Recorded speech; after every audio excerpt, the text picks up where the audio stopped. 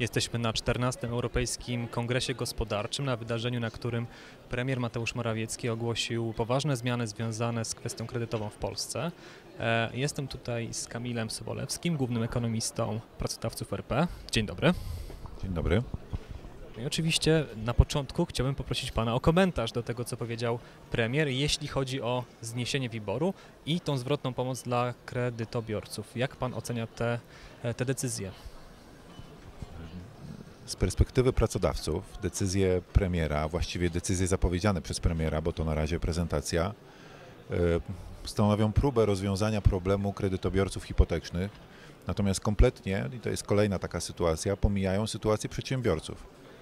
Mało z nas może pamięta o tym, że przedsiębiorcy również są zadłużeni w oparciu o stopę WIBOR, też cierpią z powodu wzrostu WIBORów i o nich y, propozycja premiera nic nie wspomina.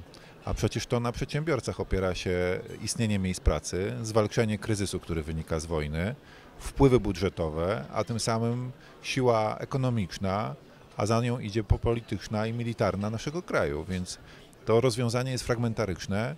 Jeżeli chodzi o rozwiązanie dla osób fizycznych, na pewno stanowi ulgę, ale myślę, że potrafiłbym lepiej zaproponować, po- po- potrafiłbym zaproponować lepsze rozwiązanie. I jakie byłoby to rozwiązanie? No To jest rozwiązanie, w którym y, nikomu z kredytobiorców nie trzeba pomagać dofinansowując mu te raty z jakiegokolwiek źródełka. Rozwiązanie polega na tym, żeby zmienić harmonogram spłat. Dlatego, że y, stała rata kapitałowa odsetkowa jest y, poprawnym sposobem ustalenia stałego obciążenia budżetu domowego tylko w warunkach zerowej inflacji. A kiedy inflacja jest większa od zera, a już na pewno kiedy inflacja jest dwucyfrowa, trzeba pamiętać o tym, że nasze dochody rosną, prawda? Ja pamiętam jak minimalna pensja w naszym kraju jeszcze kilka lat temu była 2000 zł, teraz jest 3000 zł. Przy ówczesnych podatkach to było 1300 zł, 1400 zł na rękę, teraz jest to 2400 zł na rękę. No trudno mówić, że 1000 zł płacone wtedy i 1000 zł płacone dzisiaj to jest dokładnie taka sama kwota, takie samo obciążenie budżetu domowego, a minęło tylko 5 lat. Pamiętajmy, że budżety domowe i kredyty mieszkaniowe, y, one są brane na okresy 20-30 lat i w tak długim okresie nie ma sensu przy tak wysokiej inflacji, której towarzyszy również wzrost płac, obciążać dzisiaj ludzi dwa razy wyższymi ratami kredytowymi. Czyli e, to wszystko, o czym Pan mówi, e, rozbija się o to, że relatywnie e, kwota raty kredytowej staje się niższa wobec dochodu, tak? W sytuacji wysokiej inflacji. Tak, i to do tej pory była korzyść, z której ludzie sobie nawet biorąc kredyty może nie zdawali sprawy, ale dzięki temu, że po wzięciu tego kredytu ich dochody rosły, to te kredyty stawały, te raty stawały się dla nich łatwiejsze do spłaty, prawda? Dzisiaj mamy taką sytuację, że obecne raty kredytowe dla wielu gospodarstw domowych są nie do udźwignięcia. Dość powiedzieć, że w 2021 roku, kiedy WIBOR wynosił mniej niż 0,3%, kredyty hipoteczne wzięło 250 tysięcy Polaków i oni nie spodziewali się tego, że ich rata wzrośnie dwukrotnie, a dziś, kiedy WIBOR 6-miesięczny po raz pierwszy przekroczył 6%, to trzeba tylko poczekać na rekalkulację z banku, żeby usłyszeć, że rata wzrosła dwukrotnie. I te raty dla wielu gospodarstw domowych będą po prostu nie do obsłużenia i dlatego po to, żeby nie wywołać fali bankructw, fali dramatów rodzinnych, fali wywłaszczeń z nieruchomości, y, trzeba zaproponować harmonogram, który spowoduje, że raty są z łatwością do spłacenia, a jednocześnie nie rosną tak gwałtownie. I ten harmonogram powinien zakładać, że rata dzisiaj wzrośnie nieznacznie o, w tempie inflacji, powiedzmy o te 11%, ale niestety w każdym kolejnym roku dalej o tą inflację będzie musiała rosnąć. W ten sposób kredyt będzie do spłacenia łatwiej i szybciej niż w systemie, który obecnie proponują banki kredytobiorcom.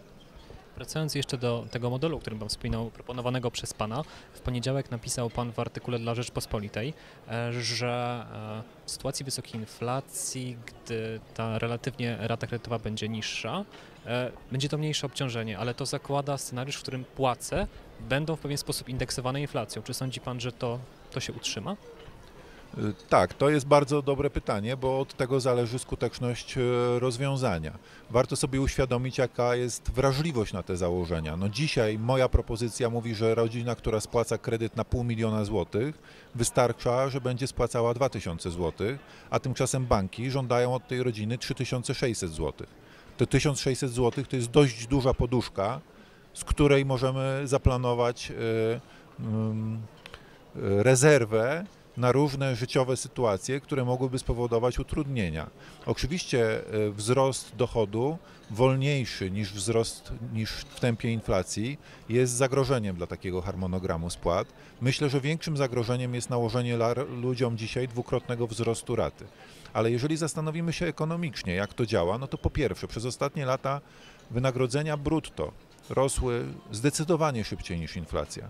Po drugie, były ulgi podatkowe, po trzecie były świadczenia socjalne i łącznie dochody, szczególnie w segmencie popularnym, gdzie tych kredytów jest wzięte stosunkowo dużo i gdzie te kredyty stanowią największe obciążenie budżetów domowych, e, po prostu te dochody rosły wyraźnie szybciej niż e, inflacja. Nawet jeżeli te dochody wyhamują do tempa inflacji, to ta propozycja jest e, jak najbardziej utrzymująca się. Natomiast e, to, co warto powiedzieć, to, że ekonomicznie płace w Polsce powinny rosnąć w kategoriach realnych, czyli określonych o inflację, ale nie szybciej niż w tempie wzrostu, wzrostu wydajności pracy. Ten, to tempo jest przez różnych ekonomistów szacowane na 2 do 3%, nie kłócąc się, ile to powinno wynosić. Jeżeli płace będą przez powiedzmy 5 lat rosły tylko w tempie inflacji, to to będzie oznaczało, że tak naprawdę firmom jest o 10-15% łatwiej takie wynagrodzenia zapłacić. Krótko mówiąc, problem się będzie w czasie rozładowywał, a nie nawarstwiał. Wróćmy zatem jeszcze do kwestii WIBOR-u. E, czy sądzi Pan, że propozycja zniesienia WIBOR od 1 stycznia 2023 roku to właściwe rozwiązanie? Ja bym sprostował, to absolutnie nie jest propozycja zniesienia WIBOR-u. Zniesienie WIBOR-u miałoby katastrofalne skutki dla polskiej wiarygodności, bo WIBOR, kredyty oparte na WIBOR, czy obligacje oparte na WIBOR spłacają nie tylko przedsiębiorstwa, ale też Skarb Państwa i inwestorzy, szczególnie inwestorzy zagraniczni, mogliby e, uznać, że e, takie zniesienie czy zmniejszenie wyboru jest po prostu kontraktowym sposobem wypowiedzenia zobowiązań państwa. To nie chciałbym nazywać słów, którymi można byłoby to określić. Propozycja, którą zgłosił pan premier, nie zawierała tego wprost, ale została szybciutko uzupełniona przez Pawła Borysa, który wyjaśnił, że propozycja dotyczy wyłącznie kredytów hipotecznych dla ludności. Właśnie dlatego mówię o tym, że ona nie dotyczy kredytów, praktycznie analogicznych kredytów dla przedsiębiorstw, no bo nimi ma, oni mają tą, tą propozycją nie zostać objęci. I teraz na co ma się zmienić WIBOR dla osób fizycznych, które zaciągnęły kredyt hipoteczny. On ma się według opisu przedstawionego przez premiera zmienić na stawkę Polonia.